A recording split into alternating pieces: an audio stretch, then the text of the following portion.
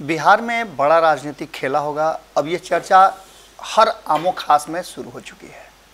कुर्नी चुनाव परिणाम आने के बाद से बिहार की राजनीति को हालाँकि देखिए बार बार ये बात कही जा रही है कि कुर्नी कुर्नी कुर्नी लेकिन कुर्नी से मतलब नहीं है। मतलब है कि कुर्नी जो है वो बिहार का मिरर है, आईना है। हम ये बात आपको बार बार बता रहे हैं। कारण कि वहाँ जो जातीय समीकरण है और जिस आधार पर बिहार में वोटिंग होती है, चुनाव होते हैं, राजनीतिक दल अपना पूरा ध्यान केंद्रित करते हैं, वो है जातीय समीकरण।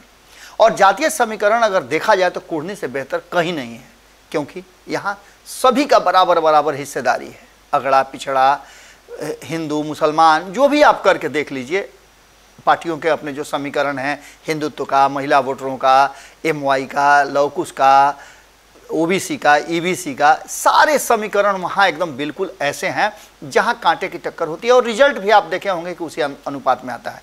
2020 में हार जीत मात्र 700 कुछ वोटों से हुई थी।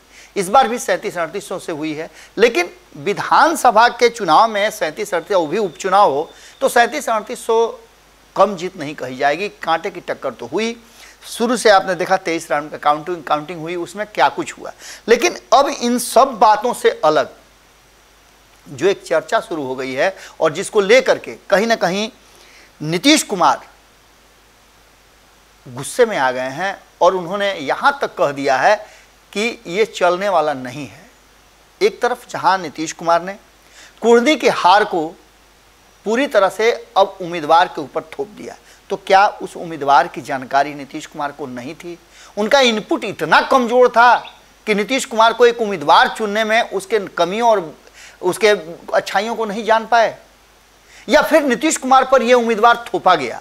या ये बातें जो कही जा रही है कि ज़बरदस्ती नीतीश कुमार ने भारतीय जनता पार्टी से टक्कर लेने का इसलिए सोचा कि इसमें मकसद छिपा हुआ था कि राष्ट्रीय जनता दल का एक विधायक न बढ़े।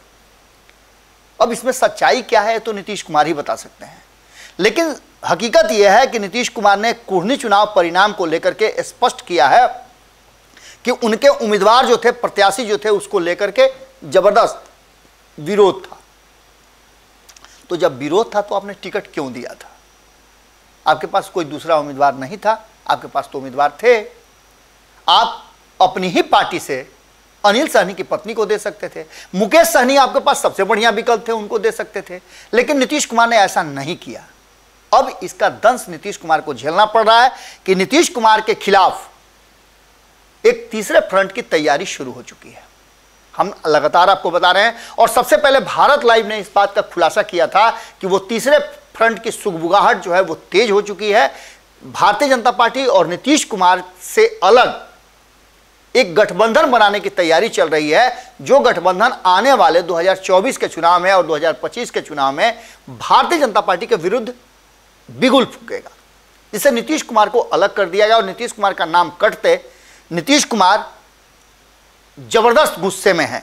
इतना ही नहीं, नीतीश कुमार का जो पारा है, वो चढ़ गया है। और एक बड़े बरियार खेला का जो है, आगाज़ हुआ है। अगर तीसरा फ्रंट बनता है तो इसमें नीतीश कुमार के लिए कोई स्थान नहीं है। जैसा कि जानकारी मिल रही है कि तीसरे फ्रंट की जो लिस्ट है, उससे नीतीश कुमार का नाम हटा दिया गया है। अब हम अगली खबर में आपको आज बताएँगे, भीतर की बात में बहुत सारे खुलासे करेंगे। भीतर की बात में हम कई मुद्दों पर आपसे बातचीत करेंगे, जो बहुत जल्द हम आपके सामने लेकर के आ रहे हैं। इस एपिसोड के बाद आज ही हम आपको ये बताएँगे, और भीतर की बहुत सारी जानकारी हमारे पास आई है, जो इस बात की तरफ़ इशारा कर रही है कि कहीं ना कहीं नीतीश कुमार ने जो अपने राष्ट्रीय खुले अधिवेशन में जो बातें कही, उन बातों में कितना दम है, और कितनी बातें नीतीश कुमार छुपा रहे थे, अपने कार्यकर्ताओं का हौसला अफजाई कर रहे थे। एक तरफ़ जहाँ नीतीश कुमार को आरसीपी सिंह की कमी महसूस हो रही है। दूसरे तरफ़ ललन सिंह का फिर से राष्ट्रीय अध्यक्ष बनना पार्टी के भीतर कहीं ना कहीं हंगामा मचाए हुए। इसके साथ साथ उपेंद्र कुशवाहा का, भले ही उपेंद्र कुशवाहा ने सब कुछ ठीक होने की बात कही हो, लेकिन उनके चेहरे के हाव भाव और उनकी जो भाषा है, जो बयान दे रहे हैं, वो बहुत कुछ कह रहे हैं। यहाँ सबसे बड़ी बात है कि नीतीश कुमार के करीबियों ने, जिस पर नीतीश कुमार इस सरकार का दारोमदार है वो भी अब नीतीश कुमार से इस चुनाव के परिणाम आने के बाद किनारा कर रहे हैं।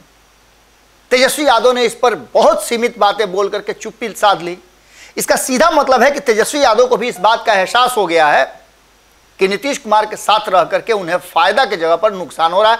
भले वो सरकार में रहे, लेकिन आगे का रास्ता उनका बंद होता नज़र आ रहा है। ऐसी राजनीति करना कोई नहीं चाहेगा। तो ऐसी स्थिति में थर्ड फ्रंट में कौन कौन शामिल है? किसके किसके नाम आ गए हैं? नीतीश को छोड़ करके बाकी सभी लोगों के नाम इसमें जोड़े जा रहे हैं। आपको याद होगा कि हमने आपको बताया था जी ट्वेंटी थ्री की बात। उसका धीरे धीरे दिया जो है बुता गया है। लेकिन उस समय भी हमने कहा था कि नीतीश कुमार देर सवेर इस जी ट्वेंटी थ्री का हिस्सा होंगे और ऐसा हुआ। अगस्त में आज से चार महीने पहले, जब नीतीश कुमार ने महागठबंधन के साथ के साथ सरकार बनाई तो जी ट्वेंटी थ्री में शामिल होने के लिए वो दिल्ली गए थे और दिल्ली में उन्होंने सोनिया गांधी से, राहुल गांधी से बातचीत किया था। यानी वहाँ भी हमारी खबरें सच हुई। अब तीसरे फ्रंट की बात सबसे पहले भारत लाइव ने शुरुआत की है और इस तीसरे फ्रंट की शुरुआत हमने पाँच दिन पहले शुरू किया था, जब कुर्नी का चुनाव परिणाम आया था और हमें यह खबर मिली थी, भीतर की बात हमने की थी कि अंदर ही अंदर यह खबर मिल रही है कि तीसरे फ्रंट की सुबुहाट तेज हो गई है, जो नीतीश कुमार और भारतीय जनता पार्टी के विरुद्ध होगी, जिसकी चर्चा कहीं ना कहीं नीतीश कुमार ने अपने खुले अधिवेशन में भी किया है कि तीसरा फ्रंट नहीं, चौथा फ्रंट नहीं, पहला फ्रंट हम बनाएँगे। लेकिन नीतीश कुमार पर भरोसा कौन करेगा? सबसे बड़ी बात यह है बार बार वो चिल्ला चिल्ला कर कहते हैं, झूठ को कितना भी आप ज़ोर से चिल्लाइएगा तो सच नहीं हो जाएगा। ऐसी स्थिति में नीतीश कुमार का पिछले दो महीना से इस फ्रंट को बनाने का जो प्रक्रिया है, उसमें ठंडापन आना इस बात की तरफ़ इशारा कर रहा है कि कहीं ना कहीं नीतीश कुमार का अभियान सक्सेस नहीं हुआ है। तो वहीं तीसरे फ्रंट की शुरुआत तेज हो गई है और इसमें कई लोगों के शामिल होने की बात कही जा रही है। कहा तो यहाँ तक जा रहा है कि इस तीसरे फ्रंट में भाजपा और नीतीश के कारण लोग अलग होना चाहते हैं, जिसमें नाम बहुत सारे हैं। इसमें मुकेश सहनी का नाम आ रहा है, प्रशांत किशोर का नाम आ रहा है। इसके साथ साथ इसमें आरसीपी सिंह का नाम आ रहा है। इसमें चिराग पासवान का भी नाम आ रहा है।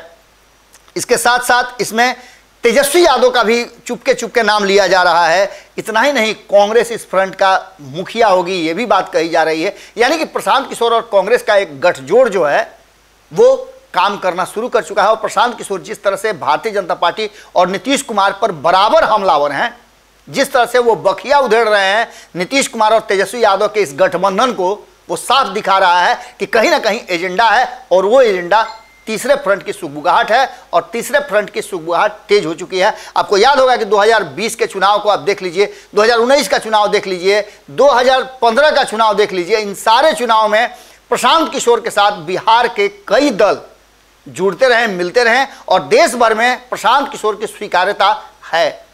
अब ऐसी स्थिति में प्रशांत किशोर ने यह भी बात कहा था कि नरेंद्र मोदी को हराना है तो बहुत मज़बूत और प्लानिंग बनानी होगी और उस प्लानिंग का हिस्सा नीतीश कुमार नहीं है। तो सीधी सी बात है कि नीतीश कुमार का नाम कटते, एक बात तो नज़र आ रही है कि बिहार में तीसरे फ्रंट के सुबुगाहट से बरियार खेला होगा और ये खेला 2024 में नज़र आ सकता है। अगर ये वीडियो पसंद आई और वह बिहार के राजनीति और बिहारियत से सरोकार रखेनी तो सब्सक्राइब बटन दबा के चैनल के सब्सक्राइब कर ली। ओजे एगो घंटी बा बटन दबा देला से कुल सटीक और मारक खबर रुआ मुफ़्त में मिल जाए अगर रुआ पत्रकारिता के हमनी के नया प्रयोग में सहयोग कर चाहतानी तो ज्वाइन बटन दबा दी। पेटीएम नंबर नोट कर ली nine three eight six eight one six seven double zero. धन्यवाद।